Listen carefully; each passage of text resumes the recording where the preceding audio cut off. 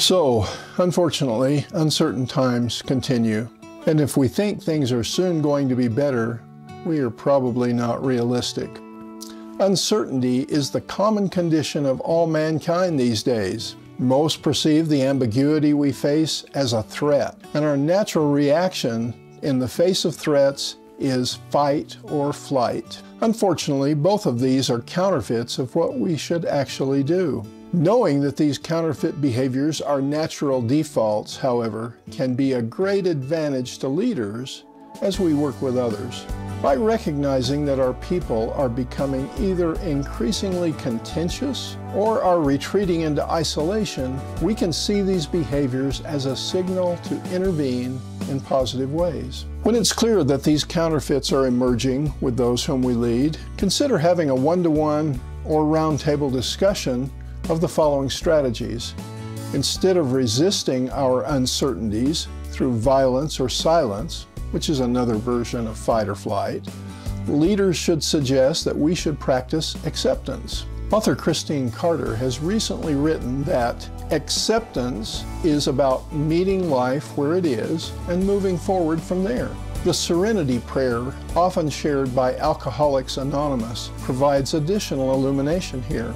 It states, God grant me the serenity to accept the things I cannot change courage to change the things I can, and wisdom to know the difference. Another idea encourage your people to invest time and energy in staying physically, mentally, and emotionally healthy. Help them recognize that they must take care of themselves if they are to work through these challenging times. While that necessarily includes the wearing of masks and social distancing for the time being, more fundamentally, it means that we should encourage them to get adequate rest, exercise, nutrition, and wholesome recreation. With regard to the last item, I love the root of the word recreation. Recreate is that root, and it's an exceptionally important concept in these stressful times.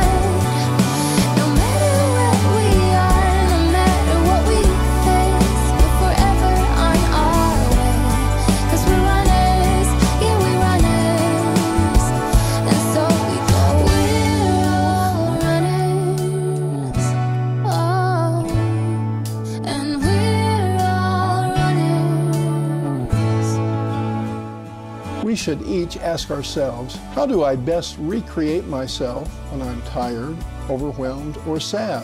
When those answers emerge, we as leaders should strive to facilitate those activities to the best of our ability to do so.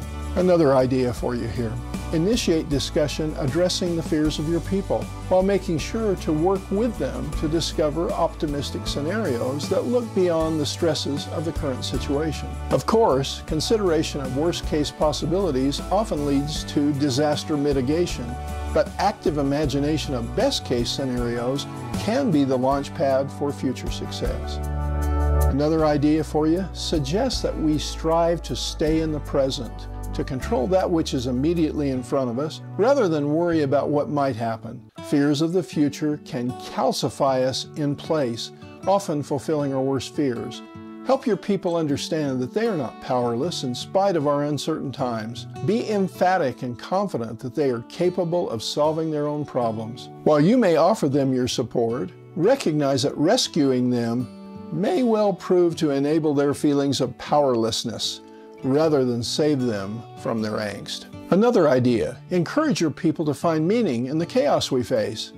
How can they become even more significant in their service to others?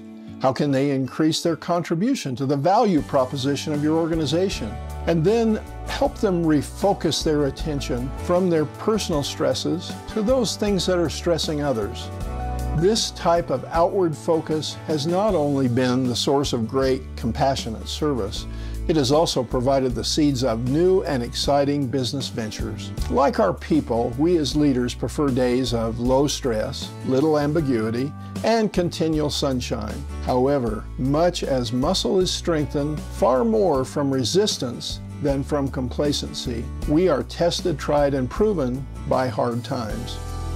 Today is certainly a proving ground for each of us. It is also an extraordinary opportunity to lead effectively. Thank.